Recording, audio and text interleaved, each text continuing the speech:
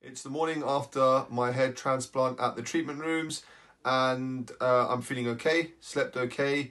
A little uh, twisting and turning. You have to sleep either on uh, your back or your sides. Fortunately, I sleep on my sides anyway. Uh, woke up a couple of times, but generally slept all right with no major issues.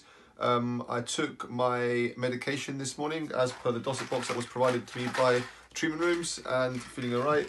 And I am also spraying uh, my scalp with salt water every half an hour to ensure that the scalp is uh, nourished.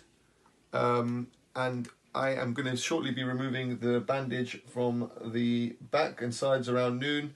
Um, as per the instructions from the treatment rooms, uh, with a shower head to uh, moisten the back and remove it, and when, then I'll be able to wash it with baby shampoo.